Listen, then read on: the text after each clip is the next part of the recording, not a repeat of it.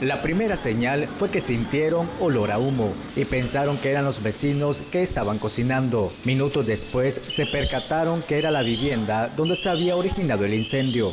Todo bien, mi casa, todo bien, tranquilo lo vi televisor. Y después mi hija se va, eh, traje pizza, y yo digo, hoy quiero comer pizza. Y después Isabel diga, mamá, ¿usted no cocina? Yo digo, yo no, no, todo cerrado, no, normal. Ella, tiene poquito eso, yo no entiendo. Apagar luz, sí, toda. Y refrigerador y todo, yo pagar rápido, rápido, rápido. Lo más extraño para la propietaria es que nadie habita en la segunda planta de la casa. Ahí fue donde empezó las llamas y no se explica cómo ocurrió esta situación. De inmediato llamó a los bomberos unificados. De momento no sé los detalles sobre el incendio, por qué ocurrió. Lo, lo único que sé que fue el humo negro saliéndose por parte que estaba el uh, controlador de electricidad.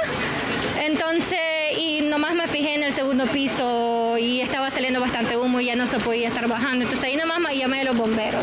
Uh, yo no sé, en nuestro piso no me fijé, solamente había bastante humo. En el segundo no me dio chance de revisar nada absoluto. Yo salí huyendo de las escaleras, no me di cuenta.